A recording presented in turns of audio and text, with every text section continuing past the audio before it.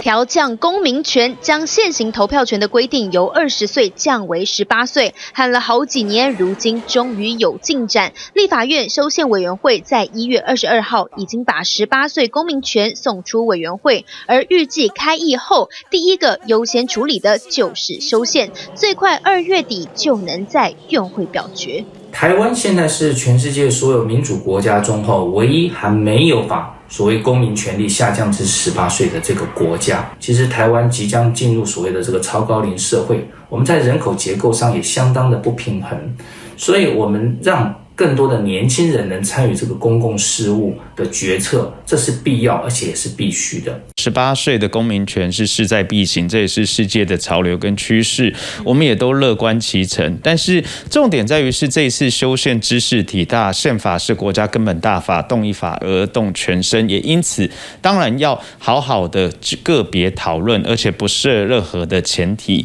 其实不只是公民权，包括说不在籍投票，以及包括我们强调的动。保路线等等的议题也都是非常关注的，堪称最受瞩目也最具共识的修宪内容。尤其常年来的两大关卡，包括修宪的门槛之高，以及社会广泛的年龄歧视，都衍生出世代正义矛盾。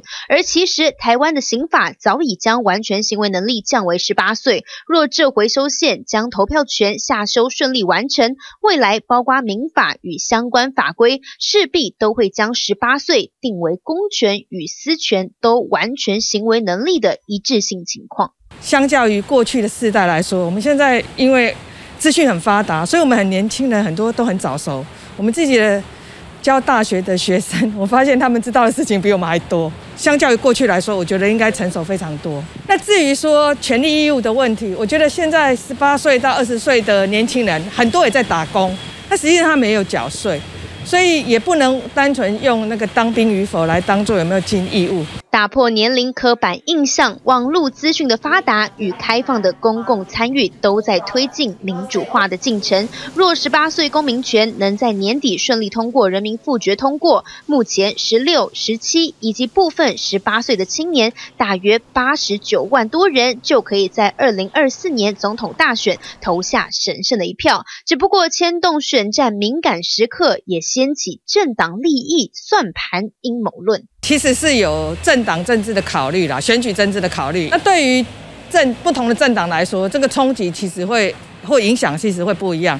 那我觉得这也考验不同的政党，他们必须要努力向下去，呃，经营比较年轻的这些选民，而不是维维护原来比较老年政治的这种思维。长期来说，我认为还是正面的。是不是有一些政治的考量啊？比方说，呃，年轻人的偏好啊，他为了。为了要胜选，为了要有比较多的支持，扩大投票的这个的人群，这理由看起来很正当了。但是背后是不是哎有更多人可以支持？完整应有的权利，实现更多参与的目标。随着修宪的脚步，年满十八岁就能参与政治的共识蓝图正一步步实现中。